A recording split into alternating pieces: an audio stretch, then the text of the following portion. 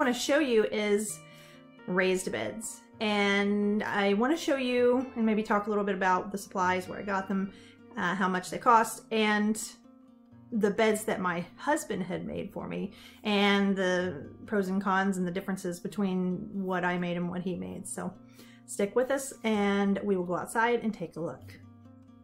Okay, so as long as the ducks and the guineas will stay quiet, I wanted to show you my little pile of lumber that I have.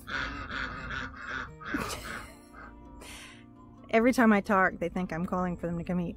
Um, this pile of lumber cost me absolutely nothing at all. And obviously this is not a very big pile. There's a few pieces over here, kind of down there on the bottom. And to buy this, I couldn't tell you. My husband could probably give you an idea of how much it would cost right now. Um, right now, it is um, the first week in November in 2021, and I'm not sure what lumber prices are if I had to purchase this. However, I got all of this lumber for free, and this is only a fraction of the stack of what I had originally. Um, my pile was a lot bigger, and I've I've I have some over there where my project is, and I've made two uh, raised beds, which used a lot of this pile. And then there's some in the barn. We didn't want it sitting in the weather and warping um, because a lot of this is not weather treated. Um, this is just straight lumber.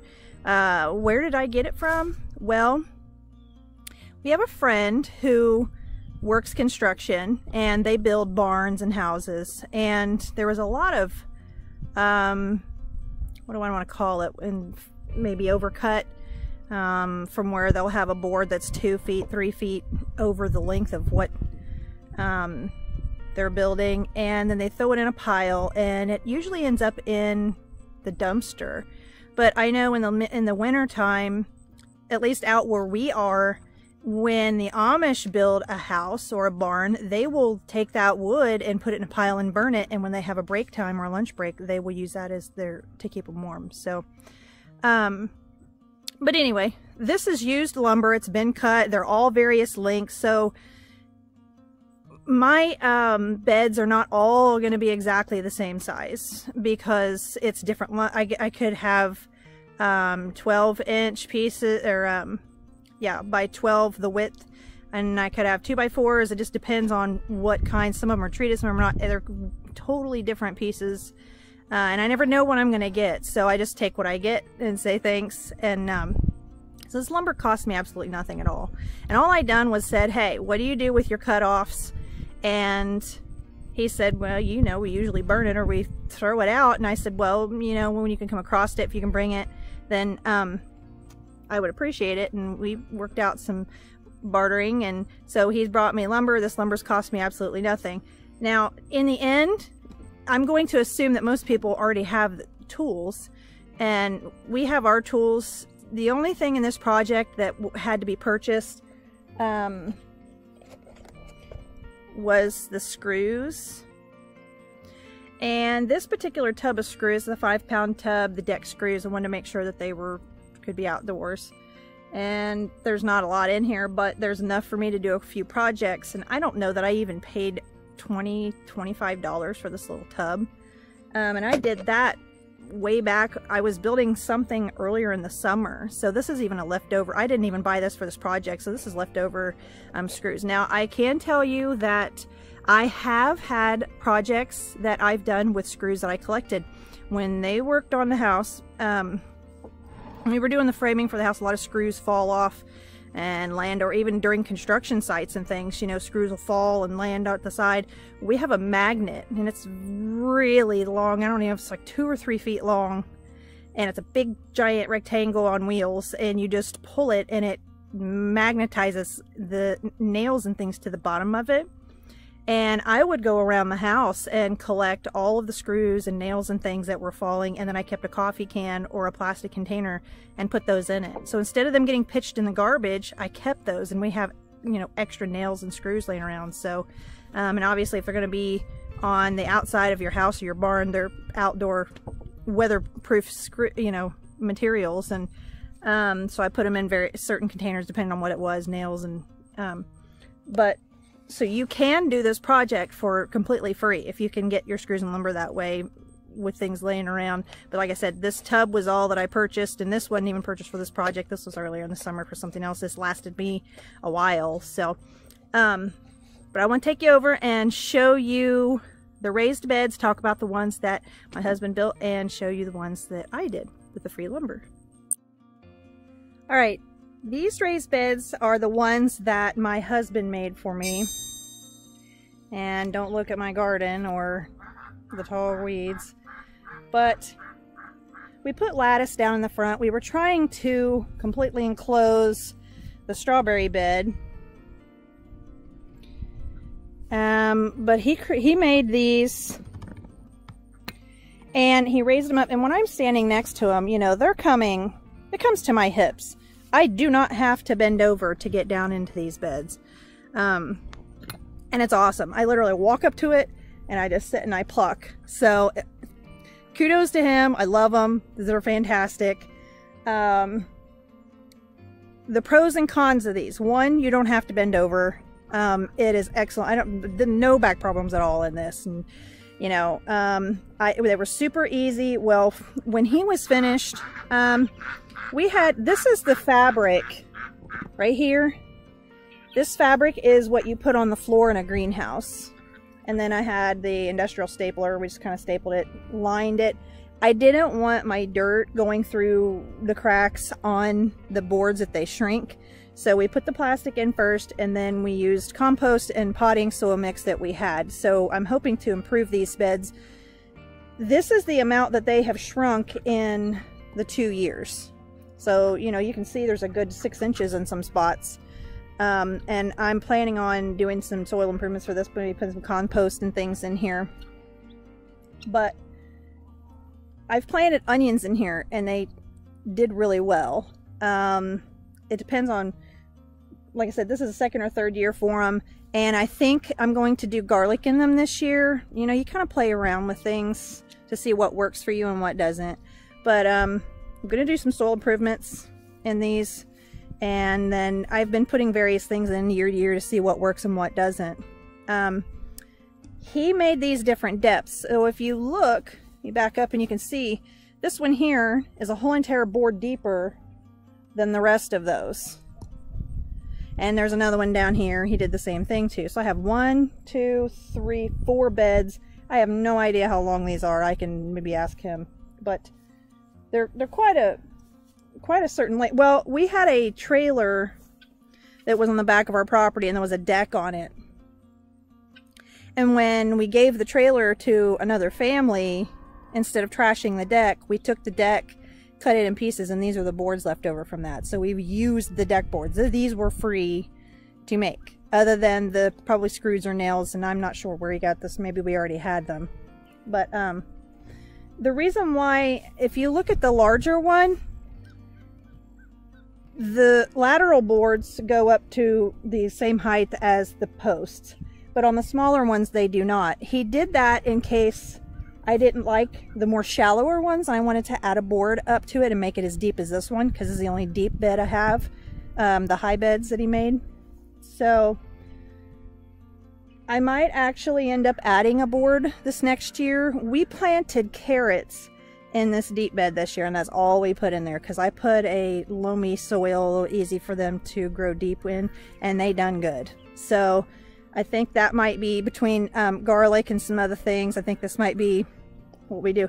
Now um, the pros and cons of this, obviously the pros is that I don't have to bend over to get into these beds you have to uh, raise your dirt up to put in here, which we have a bobcat, so he just lifts it up, scoots it in here um, the, for the compost anyways, and then the bags I have to pick up, which they're not that heavy. They do dry out faster because they're off the ground.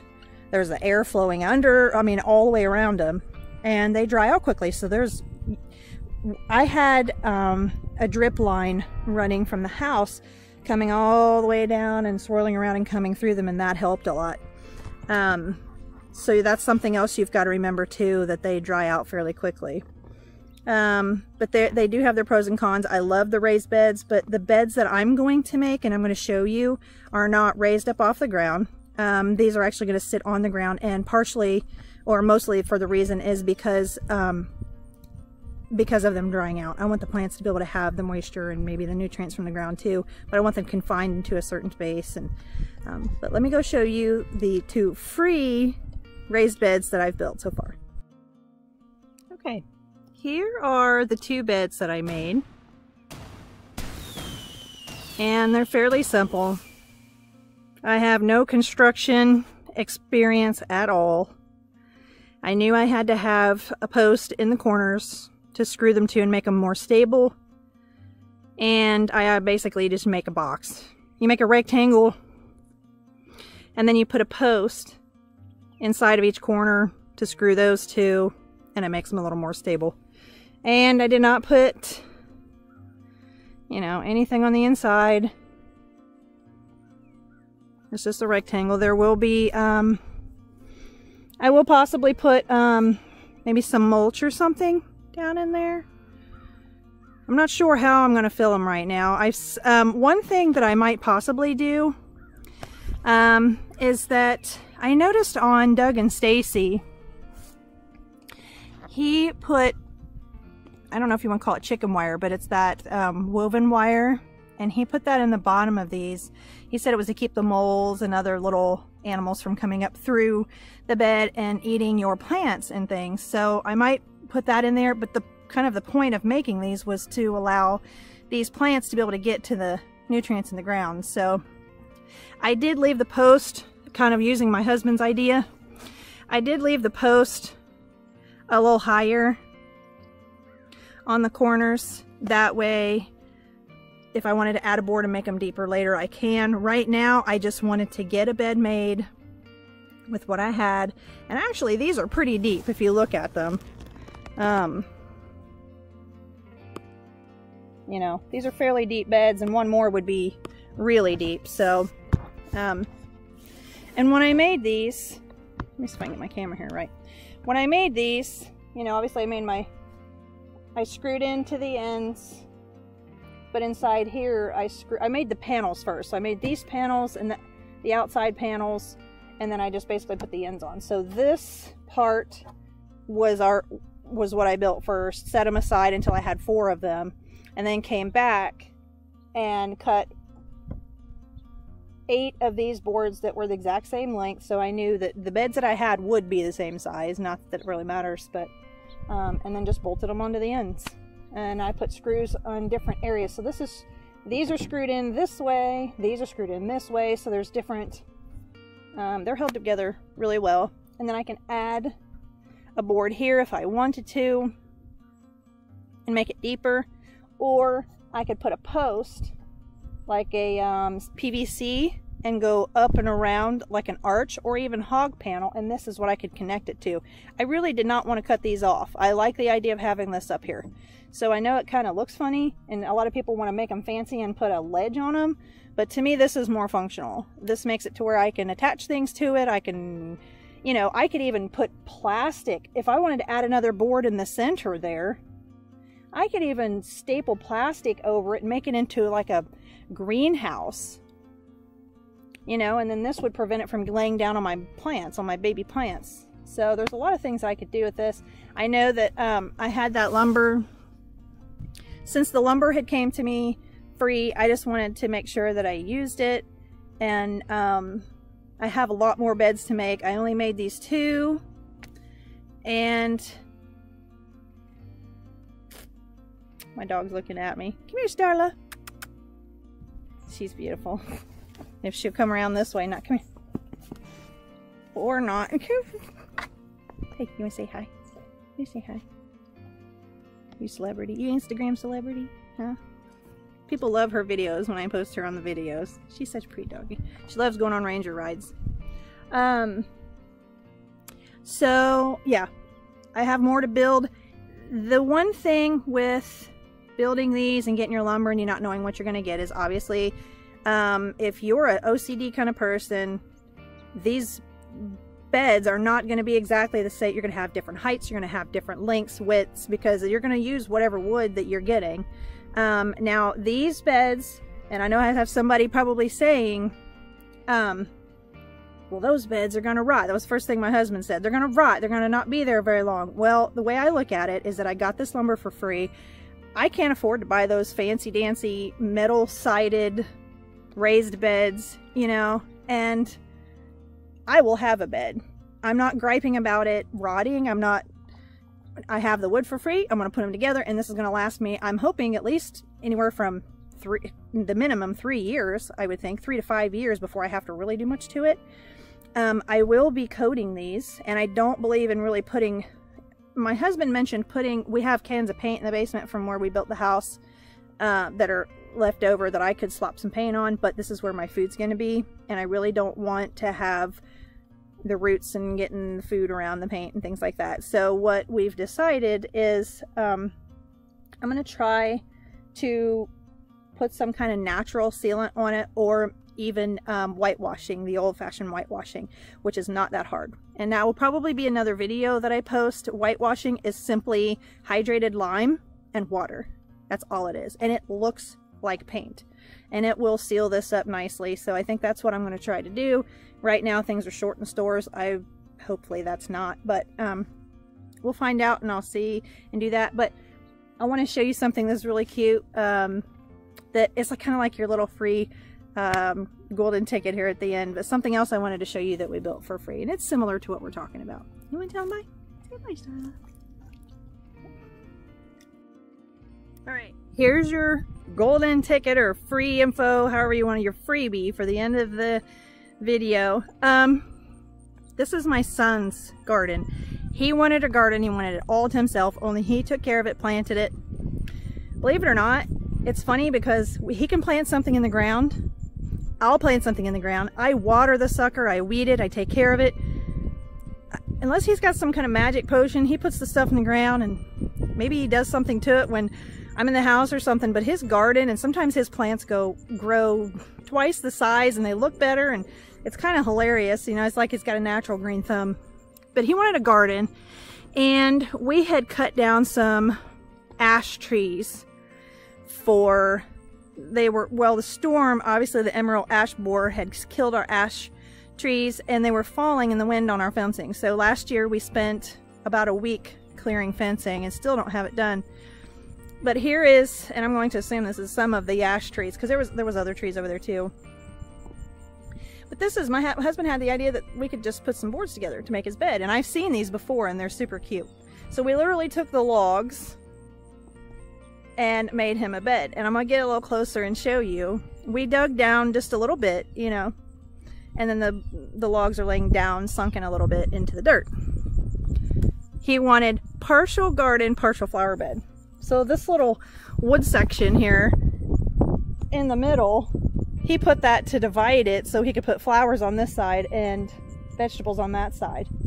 And of course it was kind of my fault that we didn't get as much as we got out of the garden this year because I need to work on the chicken coop and the chicken fence and lots to do here on the farm but they walked around all summer free range which is I like it's okay but we don't have a fenced in garden and they ate us to death. Like we didn't get hardly any tomatoes at all out of our garden. And look how big our tomato patch is. We should have had an overabundance of tomatoes and that they made it a lunch every day. So between our watermelon and tomatoes, we didn't get much. But anyway, here's his bed and it's simply just logs.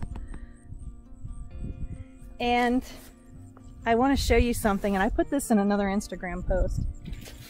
On top of the fact that he had an awesome garden, when we filled this, my husband filled this with compost from the farm. Aged compost, obviously. And when it got to the time where the weeds were getting pretty thick, um, I helped him weed. We done some weeding, and I said, you know, let's put um, some of these little wood chips. We put some wood chips and things on it to suppress the weeds. So after we weeded, put the wood chips down, we didn't have any more problems with it. But um, So this had compost in it and it was watered regularly with the rest of the garden. But like on one of my Instagram posts, look what is growing here. Can you see that?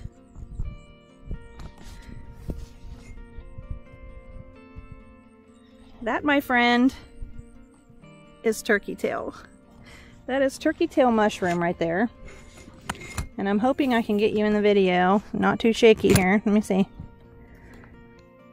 Right here, that is turkey tail. And depending on where you want to pick it from, I picked, I rolled these logs out and picked some of the turkey tail from down in between, um, but literally these are, the harder ones are the older ones. So, you know, I can pull these off if I want. And actually, I did do this. You can see where I pulled this patch right here off. And we have tons and tons. I think I have like three gallons of turkey tail mushroom right now.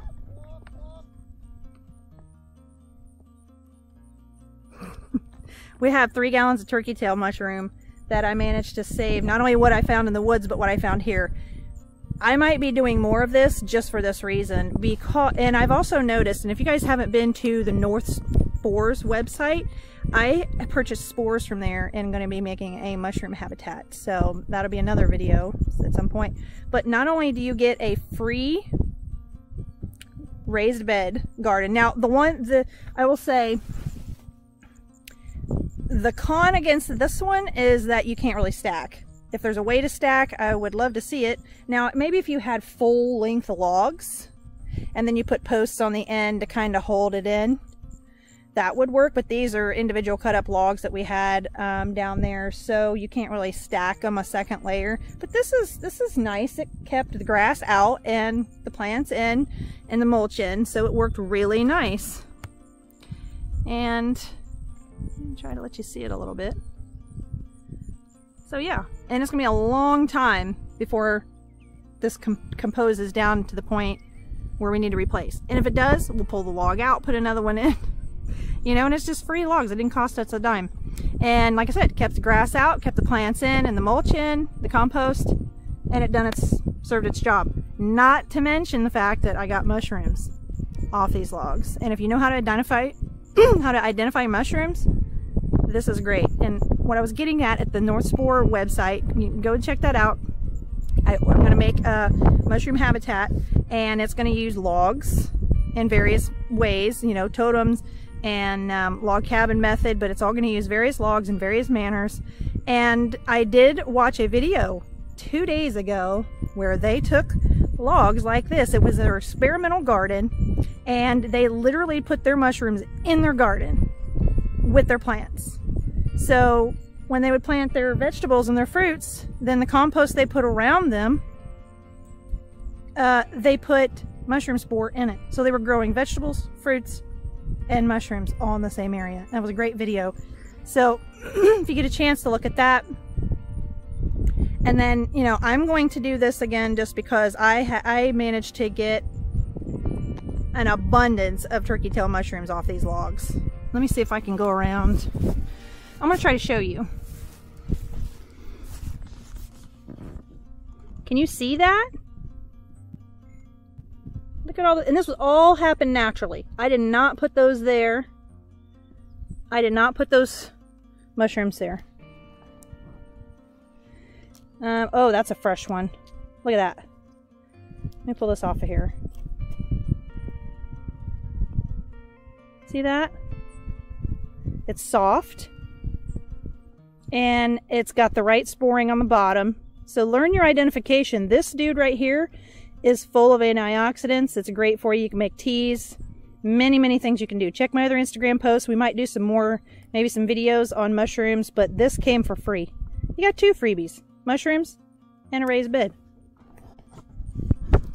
Alright, well I appreciate you coming and spending your time with us today and I will see you in the next video.